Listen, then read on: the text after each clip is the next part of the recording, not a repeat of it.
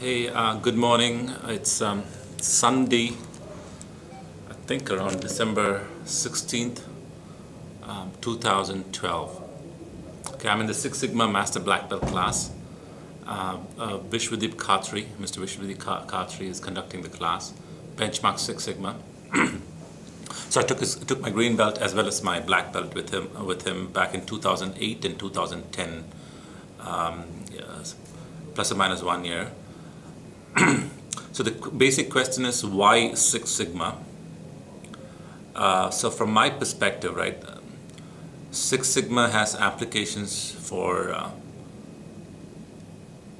even though it started in manufacturing, it has application for almost all industries. In my case, it's essentially IT and marketing because my job involves both IT and marketing of IT. so um, from a design perspective, so it's it's relevant for IT process design, which is which is core part of my work, as well as IT service design, right? Both for um, new processes, IT processes, as well as redesign of existing processes, right? Um, you might have a lot of process knowledge, but a client, you might be, uh, you know, I might have a client project where the client is implementing a process, say patch management, as a, as a new process within, uh, within the client organization. So they may already have a lot of activities around patch management, but um, they haven't defined it as a process. They haven't viewed it as a process, but they, because of its importance uh, for their uh, business and the stability of their IT environment, so they decided to make it a formal process. So they want to design a formal process. Six Sigma applies uh, uh, very much for that process, right? For process design thinking and process design work. Now, in terms of, um, so process design is the first key thing. Uh, in IT, we talk about process maturity and process maturity level when we do assessments of processes. And typically, there's four levels or five levels of maturity, starting from ad hoc um, to defined to managed, um, and and the fourth level being measured and optimized, uh, uh, measured and controlled, and the fifth level being actually optimized processes, processes and process activities. But typically, most organizations are level one, level two, or level three. So Six Sigma uh, will help in not only designing the process, uh, but also in uh, improving the maturity of the process after an assessment, after understanding where the process is today within, within an organization, um, coming up with a set of projects to actually move from level one to level two to level three uh, maturity if the target for that organization is to move to level three maturity. Right? Some organizations want to go to level four. The ROI for level five maturity is relatively low, so very few organizations, um, other than IT service providers themselves, are at level five maturity, right?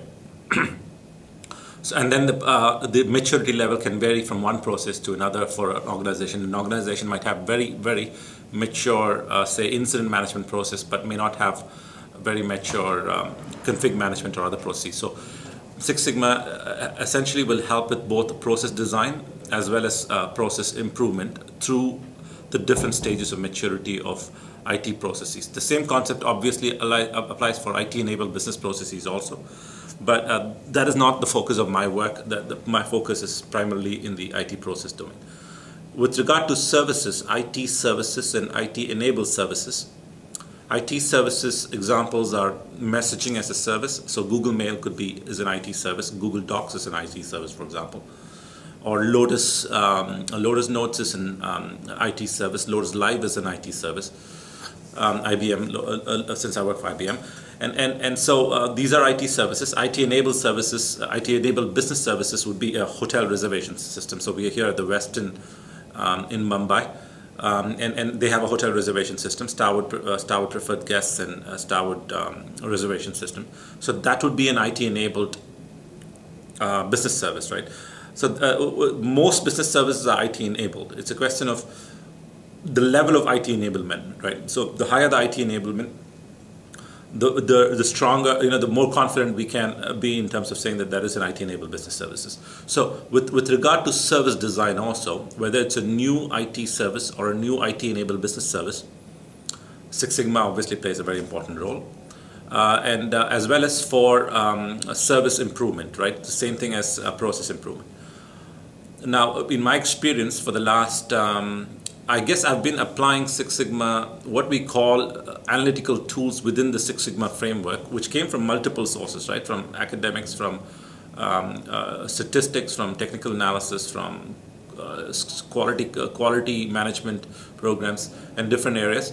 Um, I've been applying them for, um, uh, for, for, as part of my work in terms of writing papers and and, and um, as well as in projects. But after after green belt and and black belt and, and now master black belt, the level of application has gone um, has, has, has, increased significantly right? I'm, I'm creating what we call assets reusable assets. Um, uh, for uh, one example would be uh, quality function deployment, QFD in the IT context, right, where we are um, using the QFD matrix to think about service design and, and actually translate that into a set of specifications, design specifications um, for the applications that enable the service as well as the infrastructure elements that, in, uh, uh, uh, that enable that service, right? So service, service uh, customer requirements to service and service level requirements to design specifications for the IT infrastructure elements that support that service to, also design specifications to the processes that enable that service, right? Very interesting work where we also created tiers, right? We said, you know, typically if this is your level of customer requirement, a level of service level requirement for this service quality dimension, um, this is these are the kinds of design specs you're going to see for the systems, the infrastructure elements that enable that service, as well as for the um, processes that enable that that support enable or support that service, right? So we can create matrices um, you know, platinum, gold, silver, bronze, however you want to call it, right? And people are doing that a lot. And it can vary from one organization to another. And experience and empirical data is going to tell you whether actually those design specifications are helping you meet, you know, in terms of the correlation that we do um, within QFD, right? So QFD has been an extremely uh, useful tool, um, uh, and I've applied it for within IT for several processes, including requirements management, service level management, so requirements management being an architecture process, architecture management process, service level management being a service management service management process, and systems engineering, which is also part of architecture, but it's more deeper um, interdisciplinary approach. Um, and, and I guess these fields have already been thinking about using something like QFD or have been using QFD, but we've got a document um, and now that's um, propagated and used by multiple accounts uh, globally. So that is one example, right? So there are there are uh, dozens and dozens of other examples where we can apply Six Sigma uh, tools within the Six Sigma framework, whether it's DFSS, um, uh, like DMAI DV or, or uh, um, improvement, right? DMAIC process framework. So uh, several tools. Uh, the, the, for example, the event tree, and fault tree analysis, the FMECA, even though these are typically used in the design phase to design for quality. You can also use them as part of uh, problem management for root cause analysis, and it's being done. Uh, even though the most common tool there is 5Y, you can have um, uh, other tools to validate and improve the quality of root cause itself, right? Root cause analysis itself. So we've done that. So there are several, there are there are dozens and dozens of examples of applying um, concepts and, and um, uh, tools that are uh, internal uh, that, that, that, came from the Six Sigma that are that are part of the Six Sigma framework. They, they might have originated in other spaces, right? Um, and applied that for specific activities for a particular IT process or um, or across multiple processes, right? So that's that's there. But I look forward to actually applying more and more of Six Sigma concepts and tools and analytical techniques including the stuff that I've learned in, uh, in uh, the Master Belt class, right? Particularly the modeling and um, simulation for IT uh, processes. Uh, so capacity uh, utilization and performance can obviously use modeling and, and simulation. It's probably being done today. It's but it, uh, what I've learned in terms of the Oracle Crystal Ball tool and multiple other tools, how we can use it for uh, doing better capacity management, better predictions uh, with regard to capacity needs um, based on business, service, and resource uh, demand and utilization. So th th that is one area. Similarly, uh, modeling, what, what we've learned in terms of modeling here can be applied for availability modeling, right? So it's already being done. reliability block diagrams and, and um, reliability modeling.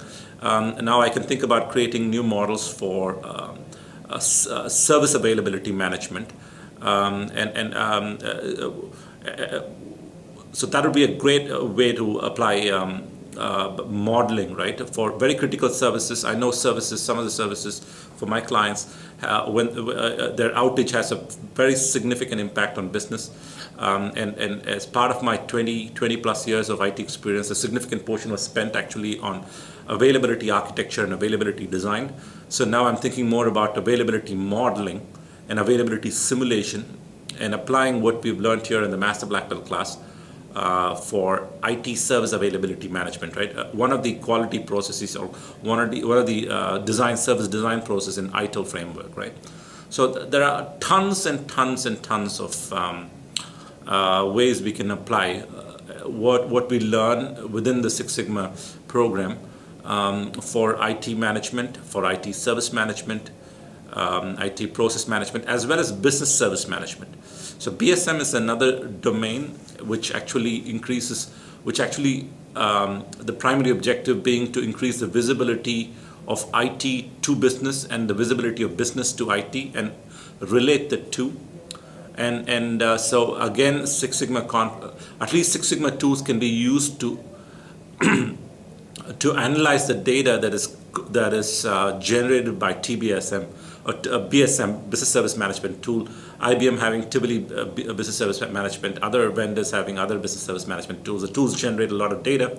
Um, and um, uh, the analytics uh, that that's part of the Six Sigma program can can can be easily applied for um, the data that's generated for, uh, from TBSM for decision making, for sense making, decision making, and policy making, right? Just like any other.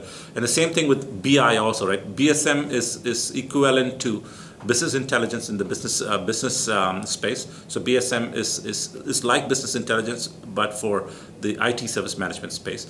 And, and so the significant amount of data being generated there, uh, and we can get, get great insights by applying the analytic techniques that's um, it's part of Six Sigma.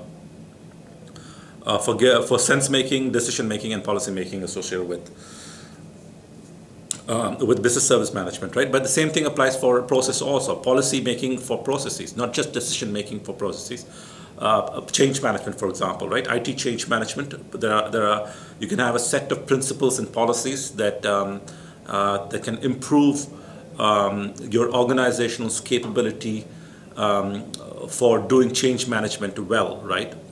Uh, and do better than the industry overall. So how do you get those policies and principles? It has to be data driven and, uh, and analytics driven. So it's not just sense making and decision making, but it's also for policy and, and, and policy making, which essentially means selecting a set of principles associated with that particular process, right? So we're also working on collecting a bucket of principles for IT processes like incident management or, or even incident problem or change, these kinds of process, operational processes as well as design processes. Um, what, now, which principles actually make sense based on data you know, actually this principle is helping us improve change management. You know, that kind of capability I'm hoping we'll, we'll have pretty soon. But, uh, you know, I can easily see, for example, change windows, policies associated with change windows being data driven in terms of success rates associated with changes and the change windows um, uh, data. Uh, the, the analysis of that kind of data to make decisions about uh, uh,